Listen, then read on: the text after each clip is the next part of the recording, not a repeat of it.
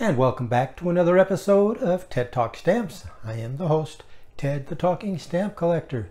And today I've got another swap and research challenge. This time, it's not with a, another YouTuber, but with Darrin Lettinga of the web blog uh, Definitively Stamps. Since this is not the usual uh, reciprocal video format. I've skipped the usual formalities of showing the trip to the post office and getting the postmark. But here's a picture of me sticking my letter in the Dropbox to him. So, and this is what I sent him. A souvenir sheet from Algeria showing the bridges of Constantine. And I will let him explain to you the significance of the bridges go to his blog and read all about it. I put the link to his blog in the description below.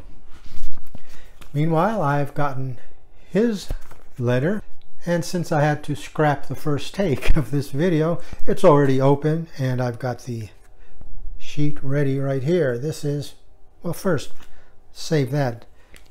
He added this nice extra, a set from Korea.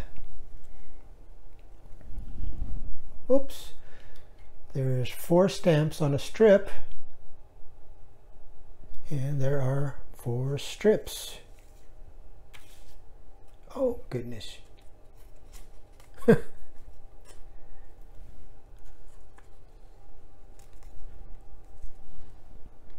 right, there you go, that's one. And these are showing like uh, various uh, Korean crafts like uh, tables, clothing, uh, here's some lamps. Really nice looking set.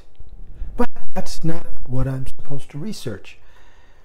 What I have to research is, and you'll be the first to see, I haven't even looked at it yet it is this, which is what? Sorry, let me put my close-up lenses on.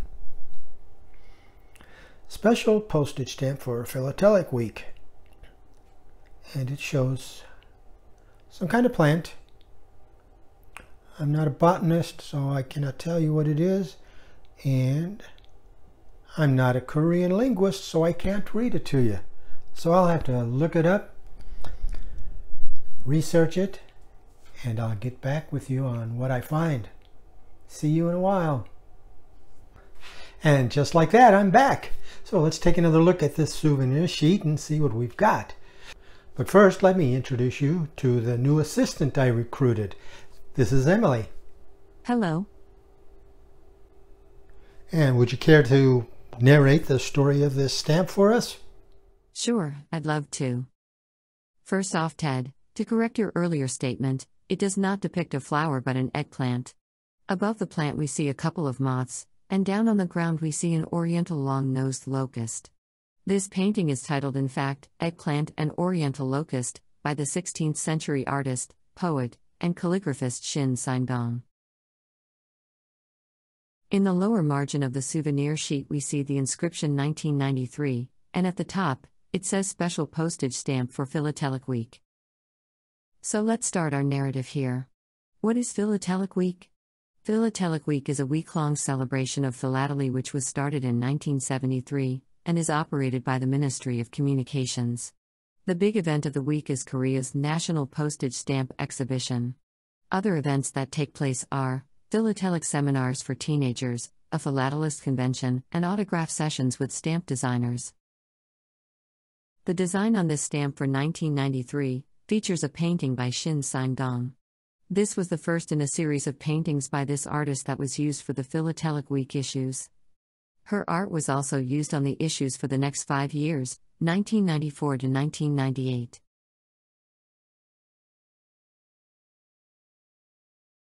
So, what is extraordinary about this woman?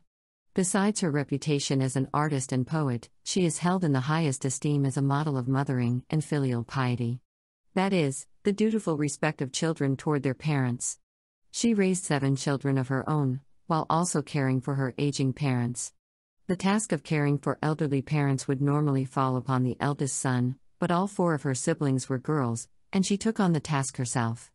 In between taking care of all these children and her parents, she managed to practice her arts. Nobody knows her legal given name. Her name Saimdang is a Chinese name, either she adopted as a pen name, or a pet name given to her by her father in honor of the mother of the Chinese King Wen, who was revered as a model wife and mother.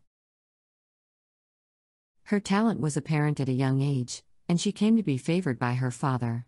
Having no son, on whom the privilege of an education would normally be bestowed, her father provided her with an excellent education. She viewed her art, poetry, and calligraphy as fruits of her education, which were her duty to produce. Her paintings are noted for their exquisite and delicate beauty, and she is credited with originating the genre of paintings depicting plants and insects, as seen on our subject stamp. As a woman, though, she did not rate having a signature seal used to sign artwork, so her works have been difficult to trace. Under the Confucian Society, she was recognized solely for her one great contribution to society, her son Yi Yi, who became one of the great Confucian scholars and philosophers. 500 years later, Saimdang is still revered in Korea. A street in Seoul is named after her. A bronze statue of her is placed in Sajik Park in downtown Seoul, and there is even a line of cosmetics under the Saimdang brand. In 2009, the government honored her with being the first woman to appear on a Korean banknote. And each year, the Saimdang Award is bestowed upon the woman who best exemplifies professional success, combined with excellent motherhood. Now, is she a great woman or what? I really enjoyed learning about Shin Saimdang. And I thank Darrin for sending those stamps. And I'm also eager to look up the story behind the other uh, set that you sent me. And if this video has piqued your interest in Korean stamps at all, you should know that the Korea Stamp Society has free membership. And you can find the link to their website down below in the description. So thanks again for watching. And until next time, happy stamping!